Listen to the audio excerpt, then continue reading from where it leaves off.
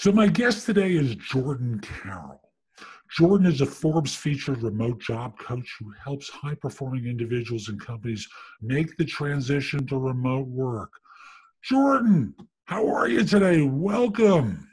Jeff, I am excellent. Thank you so much for having me. You are welcome. And where in the world is Jordan Carroll today?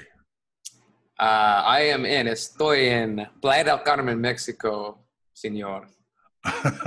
¿Tú, tú conoces? And Sí, where- no? where- where- I took French in school. I'll throw you off in Spanish. I can nod with the best of them. And you you appear to be an American. Am I wrong? I am I am an American. I'm from California, but I live in Mexico. I've lived in Mexico for most of the past year and a half or so, but uh, over the past 2 years I've lived in about 15 different countries. How fitting that the remote job coach winds up living abroad. And Yes. thus, and thus, how did you become interested in doing this? Like, what was it in your story? And then we'll get into how other people can do it as well. Yeah, I mean, I, I think growing up, it was weird. I always had this inkling that I there was more to see, and then I think there's moments in people's lives that cause them to reflect on what it is they're doing and what their default future is. So I had a few specific moments that I think really led up to that. One was leaving my corporate job at IBM. Uh, one was a, a really big breakup that I had with an ex-girlfriend, uh, and then uh, another one was was leaving uh, Portland, Oregon, where I was living at the time, and moving everything out of out of my uh, apartment and saying, "Hey, I'm going to go travel the world," and realizing that remote work was going to give me the opportunity to not only work remotely outside of an office, but change everything about my life. That's really where I think a lot of this started was that realization. So the more I was self-aware about what I thought I needed, the more it became the only option for me, to be honest.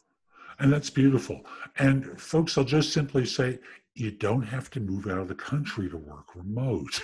you know, and that, oh, that's a that's a big that's a really good point because I think a lot of people might see the traveling to different countries and and going to all these different places every month and they get overwhelmed by the thought oh like I don't want that lifestyle. And remote work is not about that lifestyle. Remote work is giving you the freedom and flexibility to own your lifestyle whatever that means. And that's why I got into what I what I enjoy and love doing is because the moment that I felt the liberation of being able to be in Lisbon, Portugal in March 2018, looking up at the, one of the biggest bridges I've ever seen in my life up close and realizing everything that I had done up until that moment got me to that point where I felt truly free. That moment, I want other people to feel that, whatever that is for them. Could be at home with their family, right? That's and a lot of people have had that taste in this as we're recording this COVID nineteen times. Yeah. But but you obviously predate that and have been working remotely for quite some time, which is fabulous. Me, mm-hmm. I've been working remotely for quite a few years now, and Yeah.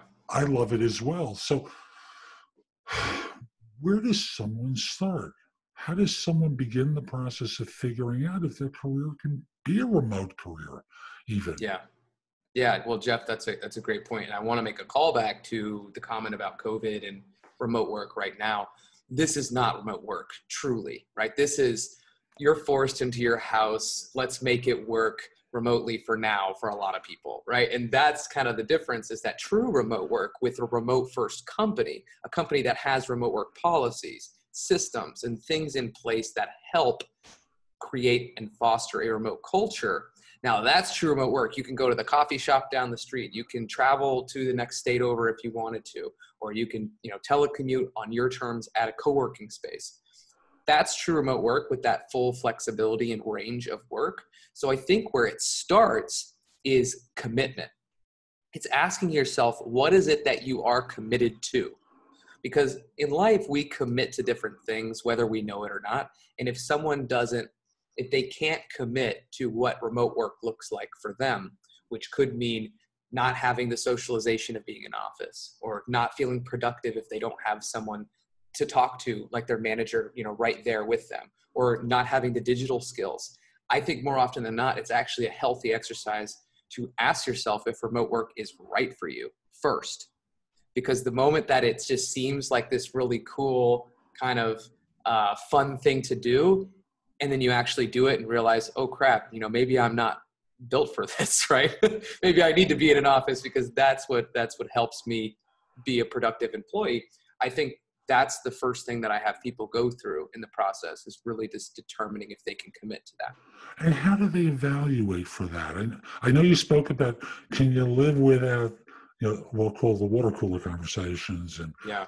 constant visits from from or to your boss where you're checking in with one another in effect being micromanaged like how, how does someone what are the determinants for how someone can figure this out that you've seen with the people you coach?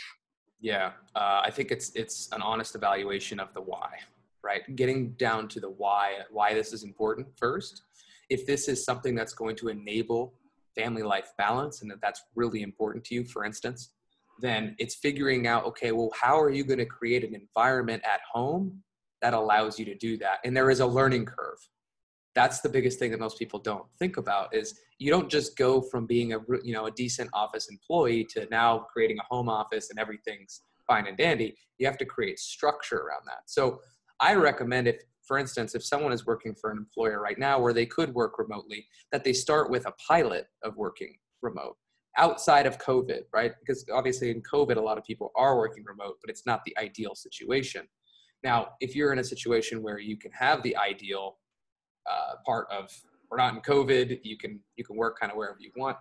Start to figure out like, okay, what does it actually look like, and what are those parameters, the criteria that I'm evaluating my success with my management, and then that'll give you a good sense of is this actually working for me, or is this actually a detriment to me. And, and, and the detriment, I always think in terms of, you know, again, I'm a former headhunter. Mm-hmm. And I remember every time the economy would turn sour, the first people that would get cut were the remote workers because they mm. hadn't ta- taken the time to remain connected with the office all that much. Yeah. And thus, no one really knew what they did, had an appreciation right. for the effort that they put in because they weren't seen. Right. And thus, they were easy to dismiss. These times seem to be different as we're recording this. Yeah. And that's and, that's a distancing bias, right? So Right. So it's a, it's a leadership bias that actually happens within um, top level leadership when they're looking at their organization and they're saying, you know, it's whoever's close to you is more important, but really in the reality, that's that's not always the truth. All of this starts with being an indispensable employee. And I'm sure that you, as a head headhunter, like you know that the highest performing individuals, the ones that really command the big bucks, the ones that command the respect, they're the ones who've proven themselves time and time again in their work environments, no matter what the work environments were. So that's first priority is if you can be indispensable and the company would be in some deep crap without you, that's your ticket for leverage for whatever it is that that is important on your end. And how long do you think the uh, the trial period for the initial remote work might last? So we've got the employee; they want to propose remote work to their management how long are they proposing it for? And what sort of things do they do in proposing it?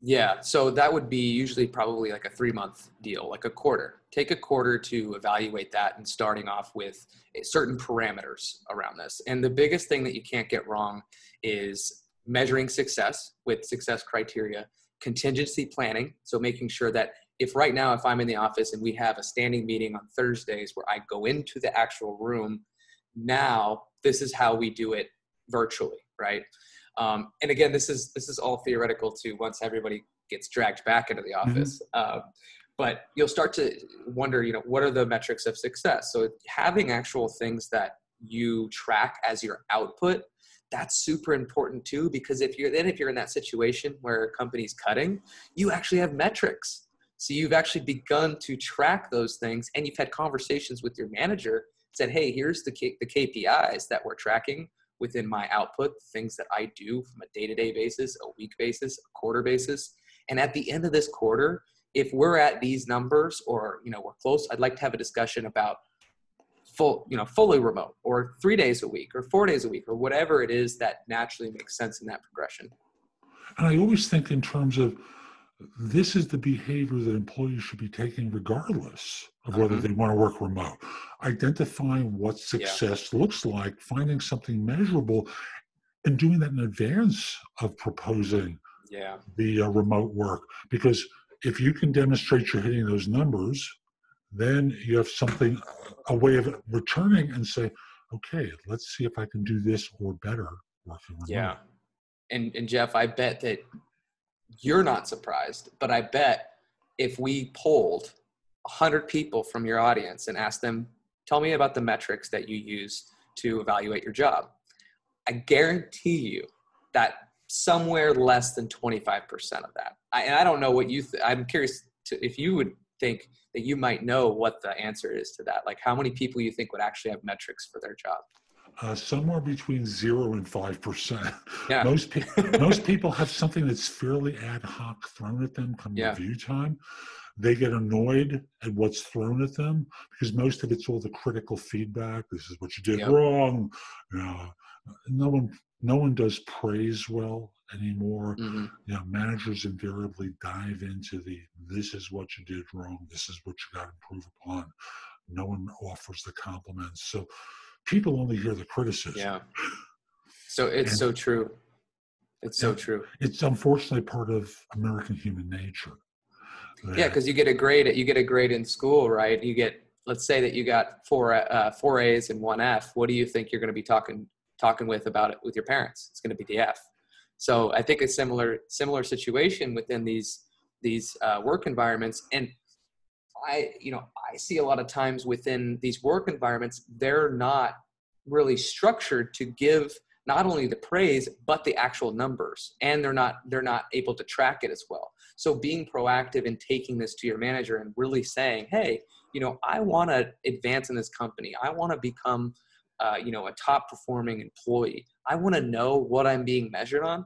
That's a very impressive thing to come to your manager with. And if they're any manager worth their salt they're going to appreciate that because that helps them justify their job right?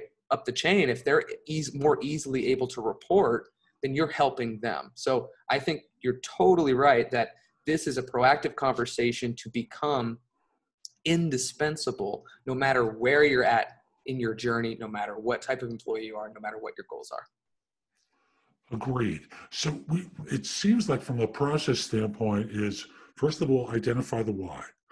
Why do you want to do? it? What do you hope to get out of it? Blah blah blah blah blah. Then from there, it seems to be okay.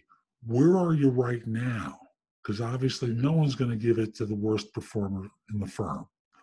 right So you have to be seen as a quality performer or better in order to do this and identify metrics for how your current work is being evaluated. So you can then say, could we try a trial for the next 90 days? And if I can keep these metrics up or improve, look at extending this on, on a permanent basis. Yeah, and, and honestly, most people I talk to are actually wanting to move to a different company altogether. So I actually see much less of the. Uh, in one of my old jobs, I saw the negotiations a lot more Uh-huh. uh, because the company that I worked for actually held those those negotiations with employers on behalf of the employees, which is a really cool experience to to be a part of.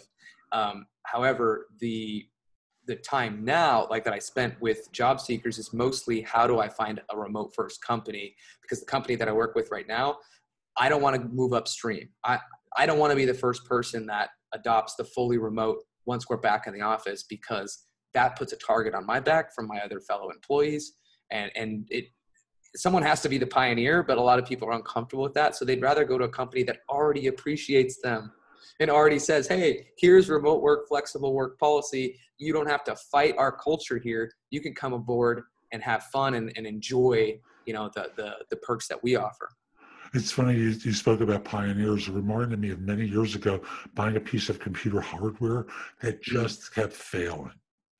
And it was a few thousand dollar piece of hardware. At a time where that was a lot of money.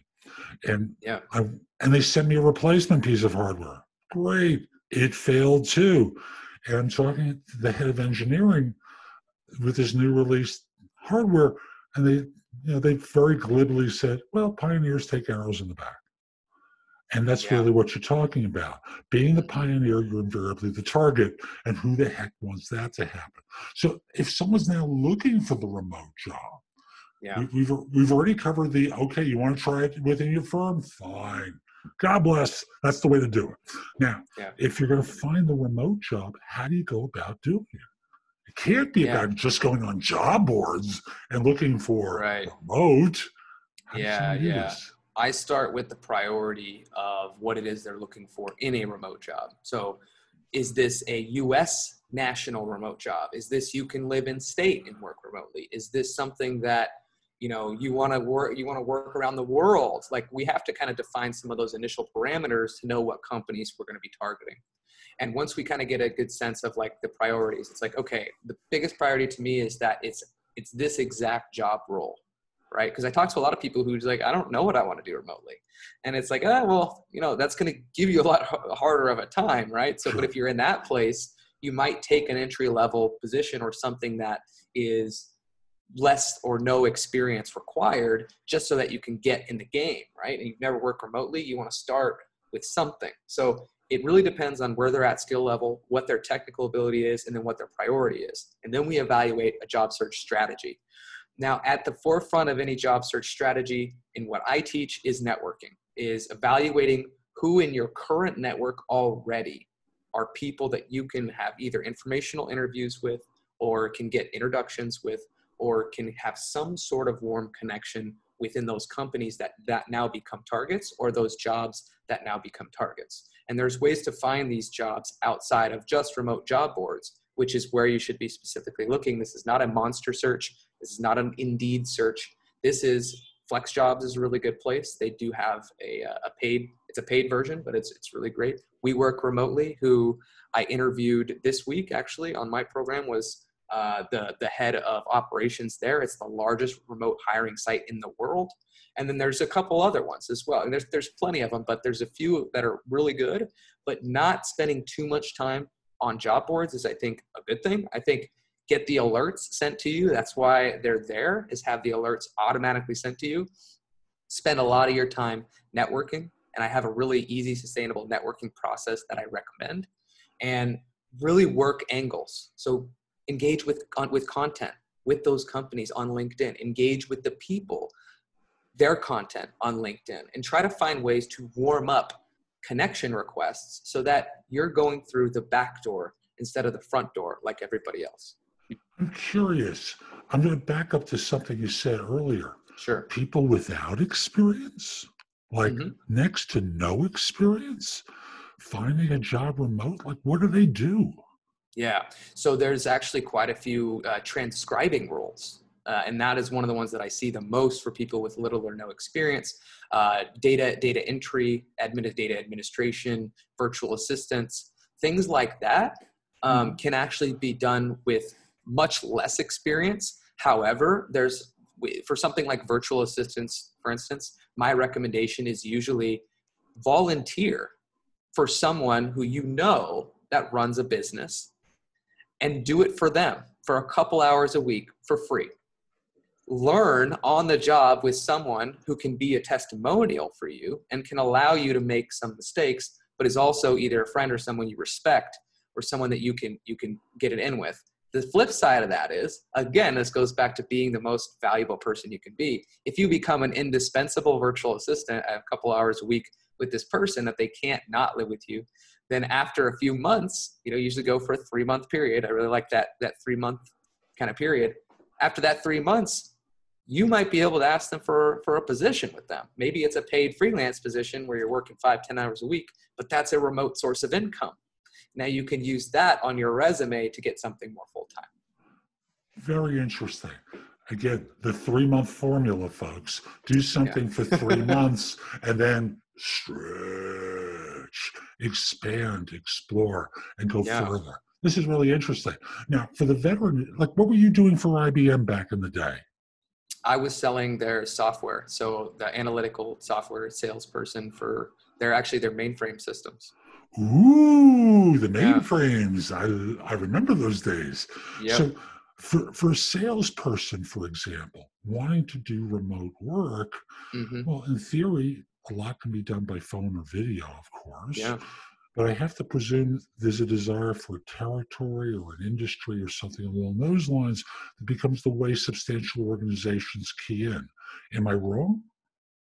Um, not necessarily, uh, but I think a lot of a lot of companies are now moving towards the predictable predictable sales revenue model, which was a book that was written about basically taking having separate teams own separate parts of the sales cycle. Um, and I've, I'm a salesperson. I've been a salesperson since I started. I sold at IBM. I sold at every job that I've ever had. I've been a salesperson. So what this looks like is you have on the front end of the of whatever the company's marketing is is a sales development representative so or a business development representative someone who either does incoming or outgoing messages lead lead uh, not only lead generation but talks to those leads to qualify then moves them over to someone who would be presumably an account executive or somebody that sells out does outbound sales as like you know uh, a closer Mhm. right? Simply put. And then then it goes from there to someone who handles the management of the account or c- customer success.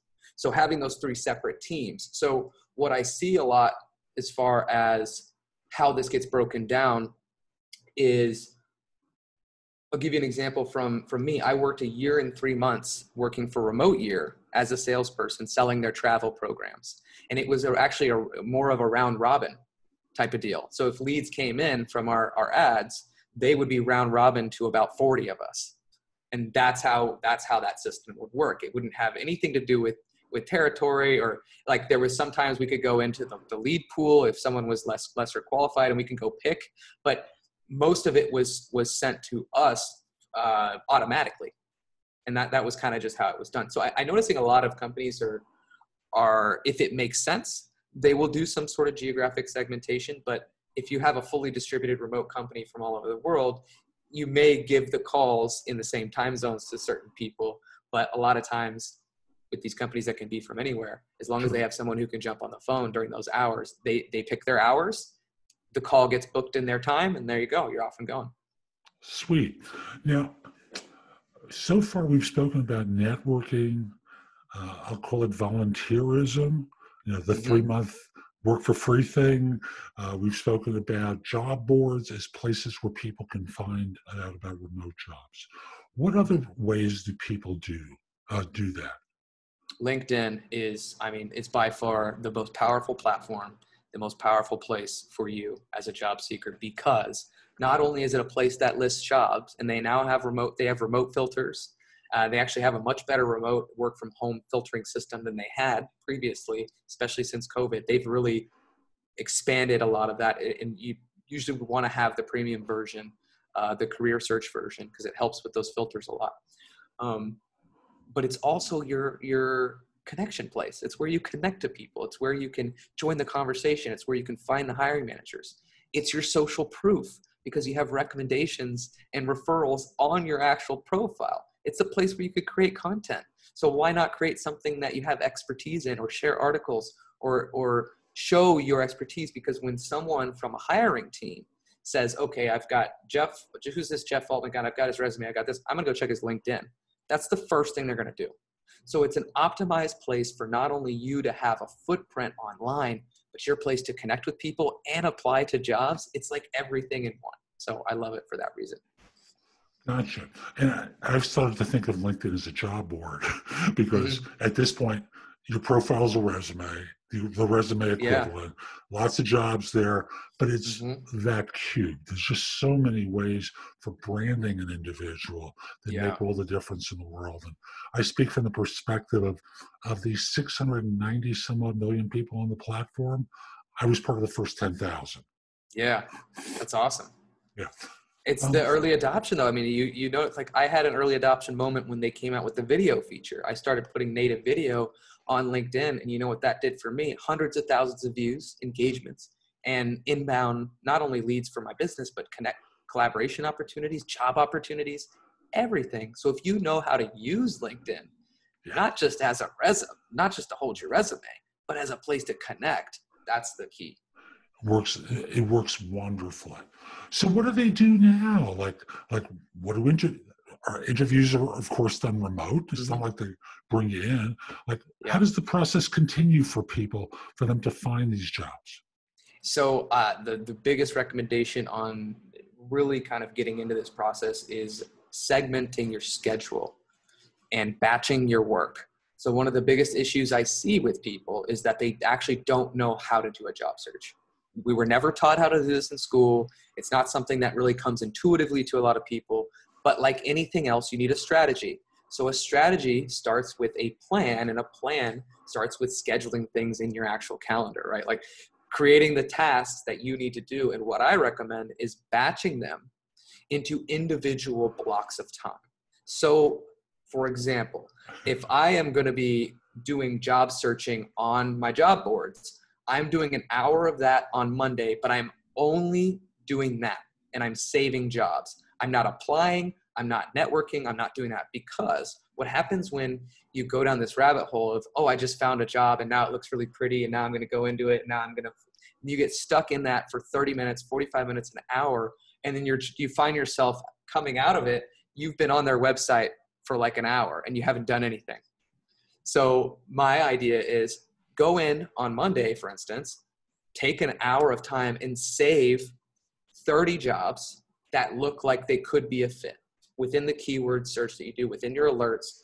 Just save them. And I, I use Pocket, which is a Chrome extension. Mm-hmm. And then go in there, evaluate, take a take time either the next day or in a separate block to figure out what are the the three that I'm going to apply to. And I, and I wouldn't recommend applying to any more than three in a week. Like that, that, that to me, that out more than that is putting a lot on your plate because I always recommend that you find a warm connection or a warm way to send in your resume. That's not just through the ATS system.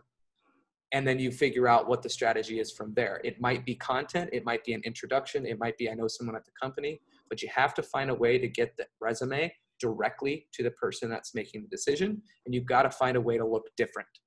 And that's the key is you have to, at that first stage, top of the funnel, just look different than everybody else. And you should get to the second round. And it's funny, you know, I, I interviewed someone this week. Uh, the show isn't out yet, but you know, he found his internship through Instagram. Mm-hmm. And the idea became, you know, he's a student, he's trying to find something. He stumbled into someone he went to school with who was yep. now the top intern in some organization.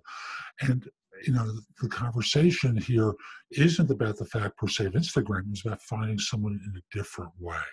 What's exactly. the access point? How can you stand out? How can you not be the fish amongst all the other fish who are trying to jump on that one stinking hook? How yeah. can you cut the line? Which is my big thing. I want people yeah. to cut the line as much as possible mm-hmm. so that people want to come to you and they're always thinking of you. So I'm, I'm liking this approach that you're taking because it's very much the way I think too. And of course, yeah. once you agree with me, that's perfect. it makes your job a little bit easier, right? And and I've noticed that a really good place for that LinkedIn company pages are highly underutilized. There are companies on there that will post things every day, if not every other day, with one like, two likes, a comment. They'll feature people within their company. They'll do like a write up or an article about someone at the company. The perfect opportunity to like that, comment on it, and then connect with the person. Say, hey, I saw your article. Pick out one thing in the article that you really liked about the person, compliment them on that, and start a dialogue about what it's like to work with a company. Because the moment that you make it a personal connection rather than you're you're reaching out to them to ask them for something is the moment that you actually build a real relationship. And when you talk about complimenting someone at the firm, uh, having read an article, everyone loves some, some compliments. Oh yeah, especially if it's sincere. Yes, and that's it's got to be authentic, right? And that's the key is that this can't be a backhanded. I, I actually don't care about Oprah Winfrey, but you mentioned her in your article. It's a hey, you know, I saw this thing I, I'll give you an example. I had a client this week who found someone at her ideal company who has a dog that looks very similar to her dog, and it's a very rare breed. And the dog is actually in his picture, and he also has an app that he built about dogs. like socializing dogs and about like their behaviors and all sorts of things. So she has this whole route to go down where she could go and even use his web, his dog website as a place of entry. That's the key is like where is the entry point? Is it through the message like everybody else is doing or can it be through some other means? Can it be a cold email? Can it be an email through their website where you have something in common? Once you create that connection, man, that's you're you're in such a better place. And I'm going to say something I say all the time. Never ever apply for a job through an applicant tracking system. Right. It's it's the lazy approach. It's called the black hole for a reason, and you know that. So yeah. why would you do it anyway?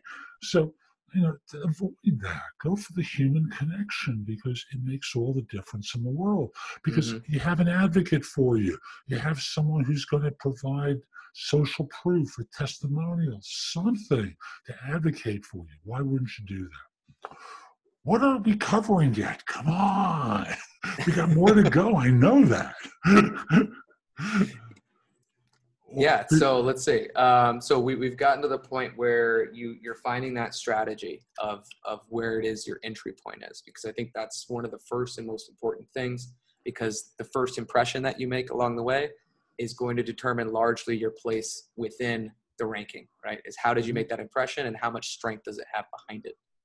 Um, so we go from there to let's just say that you know you had gotten um, an interview or you'd gotten through the process to be able to to do that. Obviously, there's a lot of company research to do. There's research to do on the interviewer. Um, but one of the more overlooked things on the back end of all this is if you don't get responses, if you don't get a response from your application, is following up. Most people who, especially the ones that go through the ATS, just submit kind of blindly, cold. If they don't get a if they don't get a response, whether it's an automated response or a human response, they kind of just give up. And I, I talked to so many people who are like, yeah, I've been sending, I sent in 50 applications. I got, you know, a few rejections that seemed like they were automated, but not really anything. I was like, okay, well, how many times did you contact the company or the person that was uh, potentially, you know, hiring for that role? I'm like, well, I didn't. I just sent in the resume. And it's like, okay, well, here's our issue: is that one, we didn't establish connection before you sent the resume. And then after you sent the resume, you didn't follow up. What does that say about you once you're at the company? Does it say much about your work ethic? Lazy, no. lazy. lazy. And when what our job is, the biggest reframe that I have to, you know, try to help my clients through is that you are not bothering people. The idea of this is that you are actually making their lives easier. You are de-risking their hiring opportunity. And this this is if you're really truly sold on the fact that you're a good fit for this organization, that this is the job for you, that you're going to do a great job, that you're an awesome employee. If you believe that, then you have an obligation to help them do it, their job easier. That obligation is to make it as risk free of a hire as you can and make it really easy for them to say yes. I love this interview so far. You're a killer. I love this. And I say that with all, all sorts of compliments. Um, what's next for someone? Are we going to get into negotiating at this point?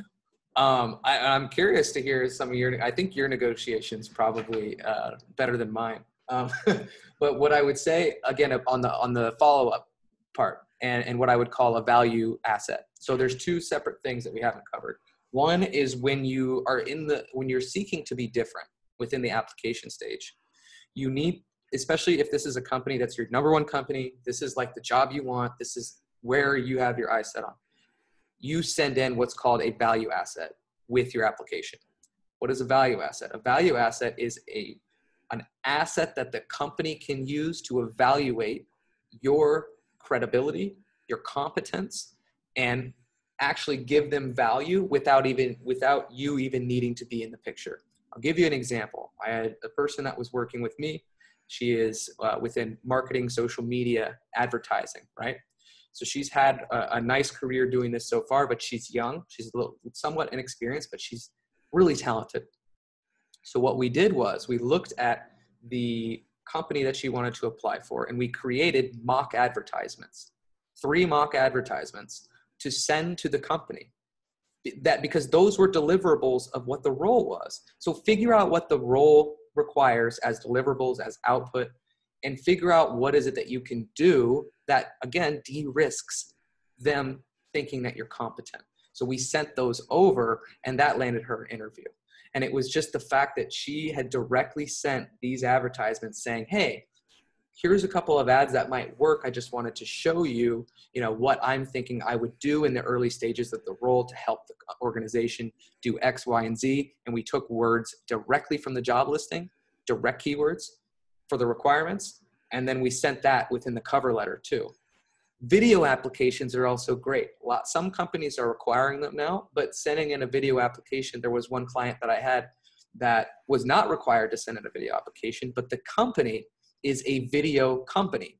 So she created an account and they have a template for video resume. So we literally created a video resume on their platform to send to the hiring manager. It's like, that seems so obvious to me that you do that, but but you know, it's just one of those things that it's perfect, right? Folks, I'll just simply say the skills needed to find a job are different than those needed to do a job. But it's the notion that, you know, think for a second. Don't stay within the system or the box that you've been programmed. Think for a little bit. You know, this wonderful example of a video resume firm. Why not give them a video resume? And you're mm-hmm. speaking their language to them. Absolutely. And, um, what else? I want more from you. Come on, guy. What else? okay, so yeah, we've gone through that part of the process of delivering our value asset. Now the big key is following up. If you haven't heard from anything, one thing that I always recommend that that job seekers do is in the in the email that you send. I always recommend sending a cold email, but it should be warm because you're trying to get noticed by people. So the ideal situation is obviously you know the hiring manager from before.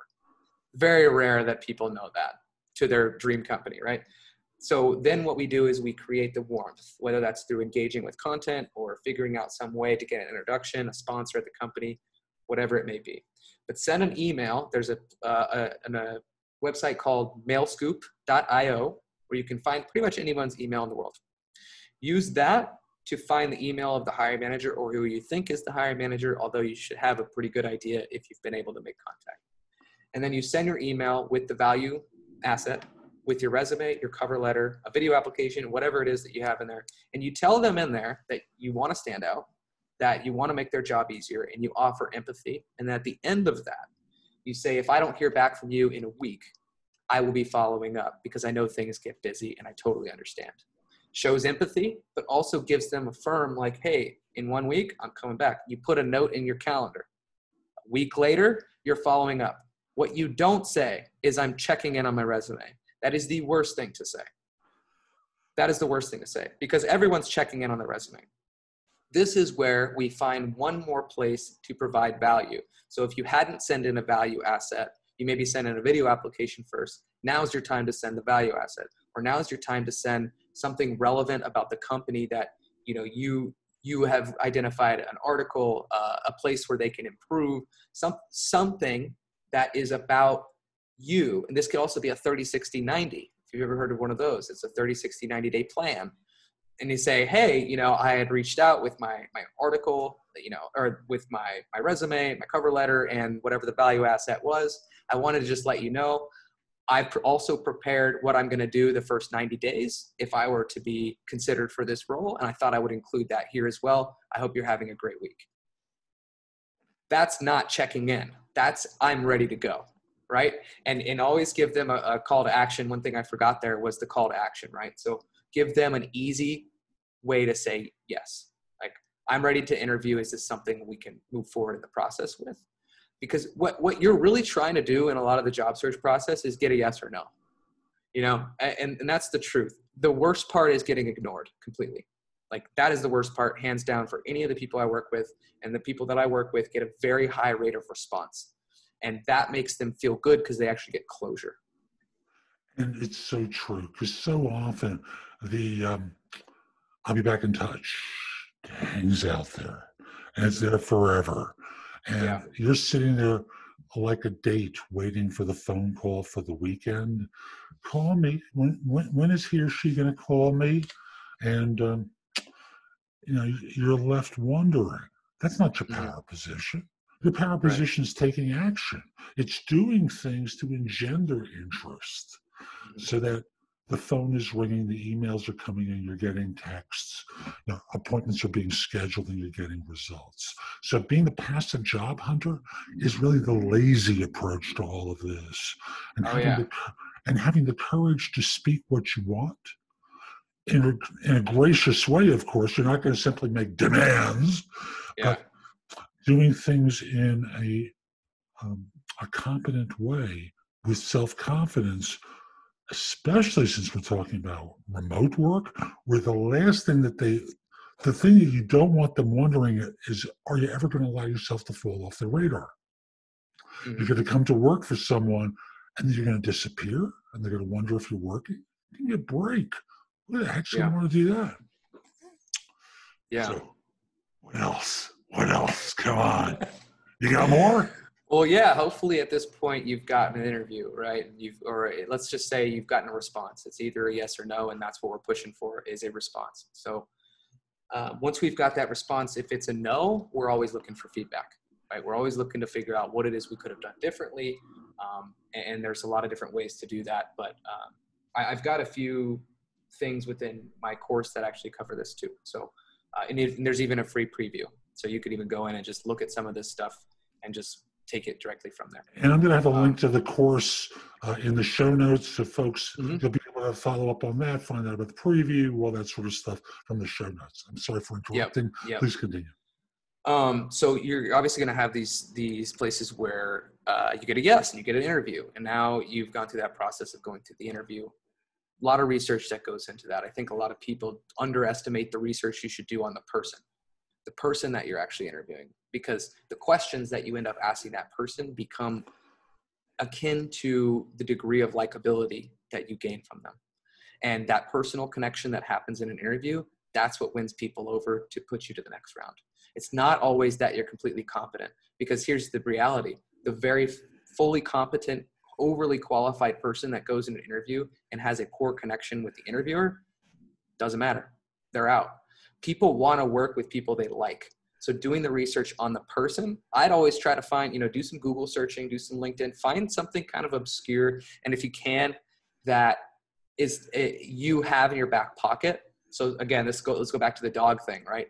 Sometimes you can find people's social media you find out they have a certain type of dog and you know you have a dog and you find a way to bring that up in the conversation at some point and and you do it in a way that opens them up to talk about their love for their dog but you've known that in the back that you're going to bring it up because now it creates a connection um, so it's not uh, uh, it's not going out right and saying the first thing when you're on the interview Hey, you like, dog? "Hey, I I saw your dog on Facebook. Blah, blah, blah. It's it's and I really love dogs, and I have a, a you know a, a cocker spaniel. Blah blah blah blah. They're like, oh, I have a dog too. Blah, blah. It's like you knew that, but you've you you're basically creating those environments where you're pointing the direction of the conversation to wherever it is that you want to go because interviews are mutual interviews are not something where the company is evaluating you it's both sides evaluating each other so don't be afraid if the, the company's not a good fit for you or an interview is not a good you've, you've determined that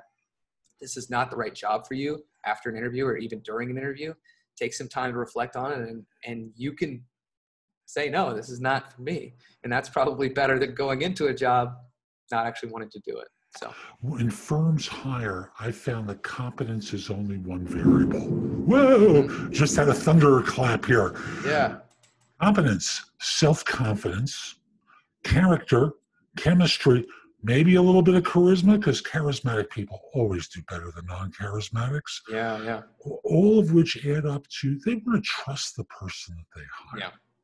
Doesn't Yeah. matter whether it's remote or, or on site, Mhm. firms want to trust someone. And if you can't get that trust because all you're doing is selling competence and not th- remembering these other variables, you're in deep kimchi because there are other Yeah. competent people out there you'll as well. lose You'll Yeah. lose on competence. That's the lowest common denominator. Because here's the thing: the reality is they're not going to hire anybody who's not competent. everyone, everyone at that stage is competent where you're interviewing. So then it's like, what else do you got?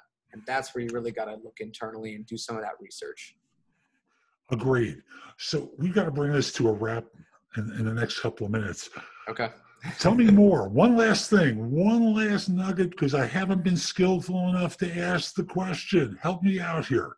Oh man, you're dragging me through this. That's right. I've cast that line into the water. cast the line. I'm reeling in. yeah, and you know, I was uh, I, I'm here in Mexico, and I don't think there's many orange vests, but I was going to try to find one before so I could be big game hunting, um, but it didn't it didn't quite pan out. Um, so so I think from there, um, one of the big things again is is the mindset shift from the fact that the company owns all the power in this to you having power.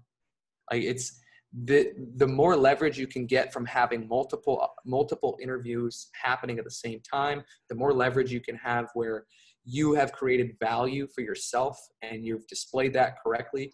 That will come through in your ability to be confident and un, like uh, unattached to whatever happens. And that's a big key because one of the most discouraging things that can happen to people is that they go into an interview that they're really psyched up about. They go into this job opportunity application and they're so attached to that opportunity that once that falls through, their whole world crashes down and now they shut down for a week, two weeks, and they just don't even search anymore. Job searching is about perseverance, it's about grit. You're going to get hit on the chin. You're going to have opportunities that don't come through. So the less attachment you can have, the better. And the way that you create that is one, like we said at the beginning, being an indispensable, high value employee, and then using that as leverage within interview processes and having multiple streams of interviews and uh, incoming conversations coming your way. Fabulous. Jordan, this has been fa- terrific. How can people find out more about you, your work, the course, the whole bit? Yeah, so uh, I'm on theremotejobcoach.com, theremotejobcoach.com. I thought it was a great domain, so hopefully uh, easy enough to find.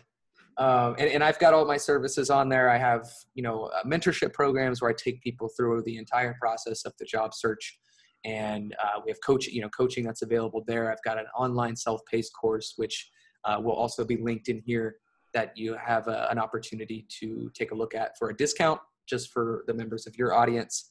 So that yeah, that'll be uh, that'll be offered as well. And yeah, the remote job coach also has a ton of free content. And I know Jeff, you're a value-based guy. You love to put out free stuff for people because that you know there's so much education and training that's needed in this space that um, I'm so happy to even be a part of what you're creating. So I appreciate that. Thank you. You know, at this point, it's over 9,000 posts in the blog on my website. The number Yeah. one podcast at Apple Podcast for job search with more than 1,800 episodes. At this point, episode 2,000 is going to be in November. And folks, we'll be back soon with more. I'm Jeff Altman, the Big Game Hunter. Like I was saying, visit my website, thebiggamehunter.us, because there's a lot there that can help you. And if you're interested in one on one coaching from me, there's a place where you can schedule a free discovery call or dive right into coaching. I would love to help you. I've now got a channel on Amazon. If you've got a Fire TV or a Fire Stick, download Job Search TV as an app. And it's about to be ready for Roku or might already be out. I haven't got the, the final message about that. So you can watch me on either of those two as Job Search TV or on Apple TV or like 90 some odd uh, smart sets. You can download bingenetworks.tv and watch me there. One last thing before I forget connect with me on LinkedIn at linkedin.com forward slash IN forward slash the big game hunter. Mention that you saw this because I like knowing and helping some folks. And once we're connected, let me know that you like the show. Hope you have a terrific day. And best of all, be great. Take care.